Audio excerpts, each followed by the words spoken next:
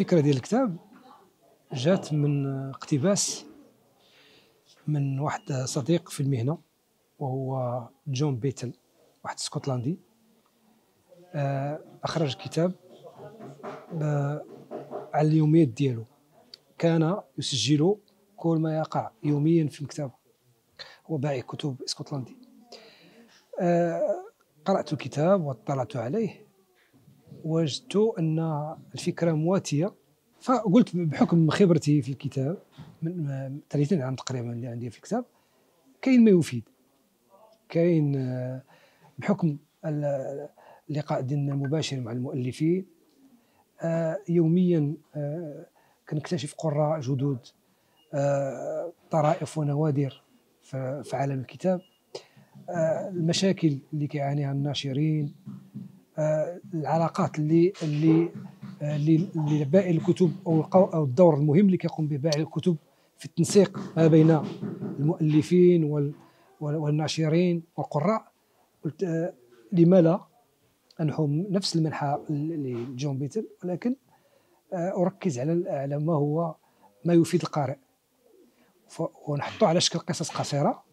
يكون مرر من خلالها واحد مجموعة ديال الرسائل. إما إشارة إلى كتاب إما التعريف بكاتب كاين مشاكل في التوزيع مشكل في التوزيع كبير.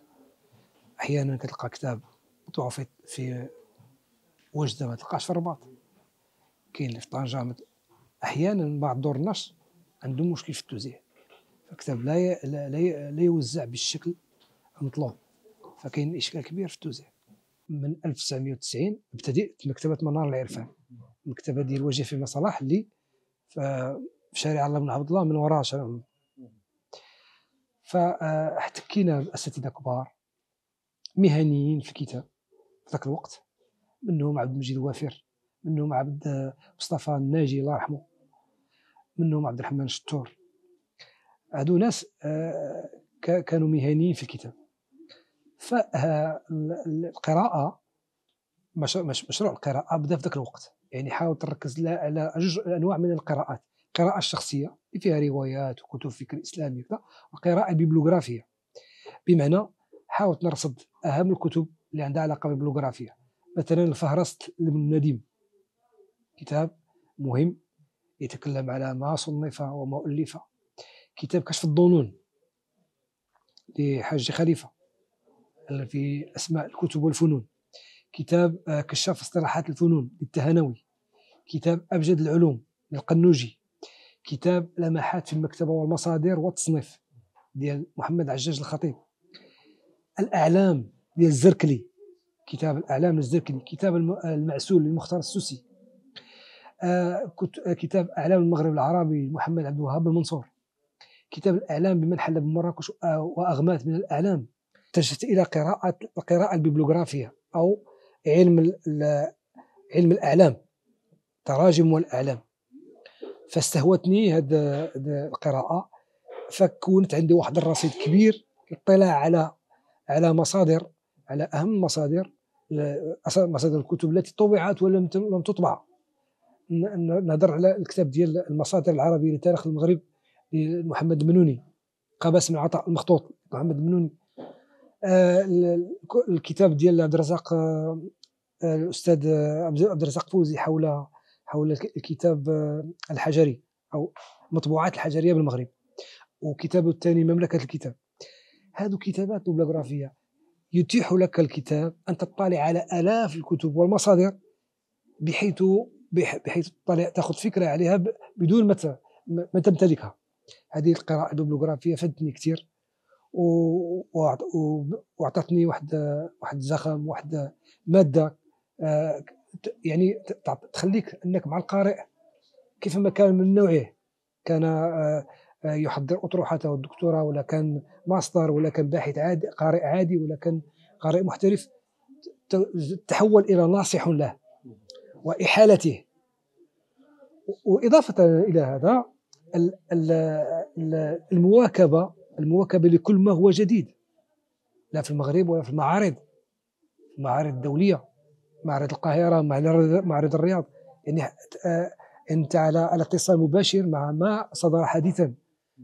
فتصبح مرجعا مرجعا للأساتذة مرجعا للقراء. آه، نخبة المجتمع المغربي تقريبا لمستها وعايشتها وكان لي الشرف اللقاء بهم. منهم المفكر أو الروائي الكبير حسن أريد اللي نظمت له أكثر من من خمس توقيعات حفلات توقيع. آه، الدكتور آه، سعيد بنقراد آه، أستاذ السيميائيات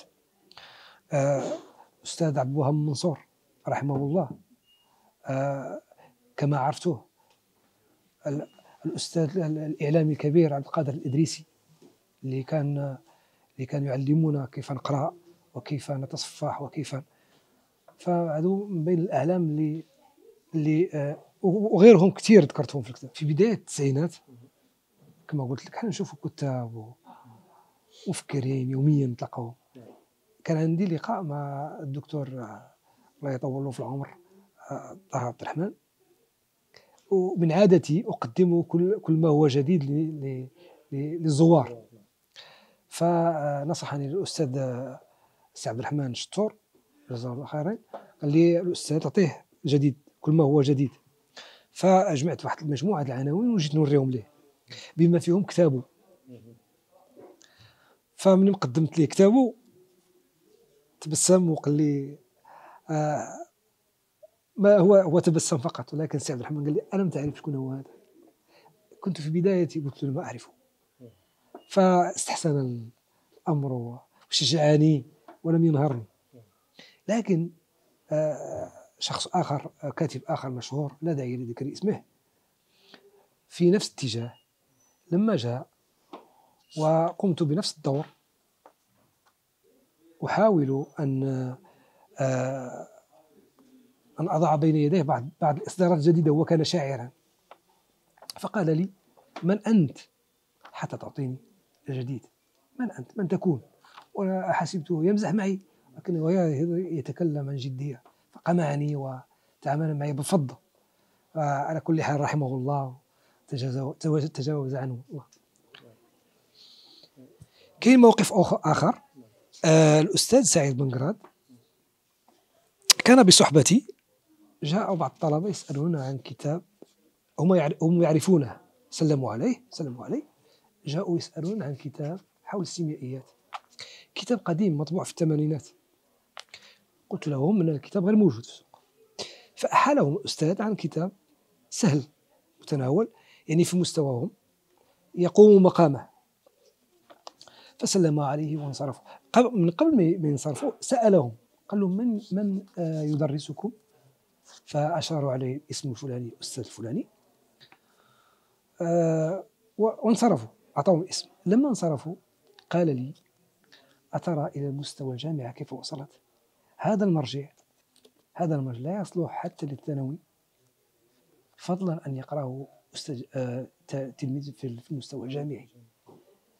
قال لي أترى المستوى الذي وصلت له الجامعة؟ كيف أستاذ يحيل على مراجع في غاية البساطة؟ هو هو هو أنا أنا آه عشت في التسعين من التسعينات لدابا كان تطور كان اتجاه حول البي دي إف وحول الكتاب الإلكتروني.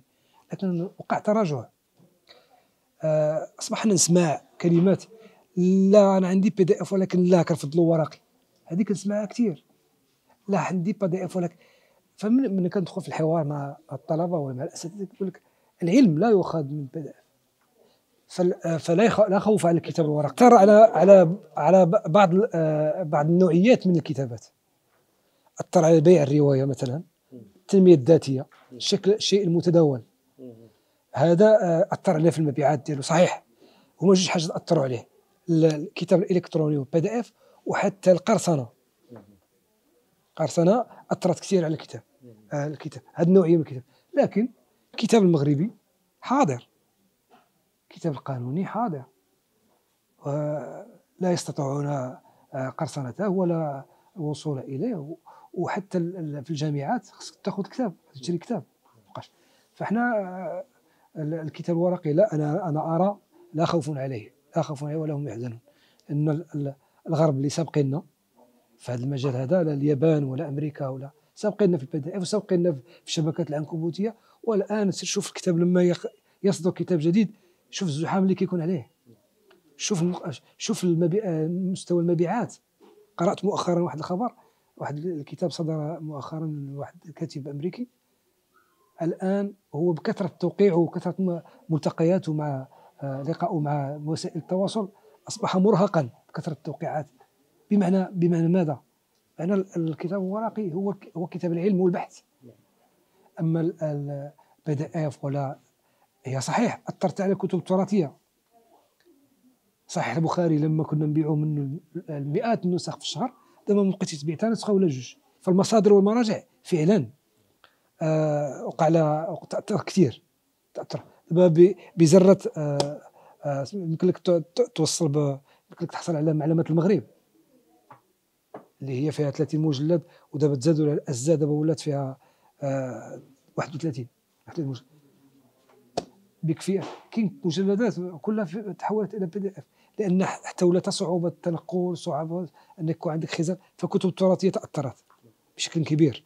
لكن الكتب الحديثة كتب الفكر الإسلامي الحديث ولا كتب القانون ولا علم الاجتماع ولا ولا الفلسفة ولا النقد ولا هادو لم يتأثروا كثير.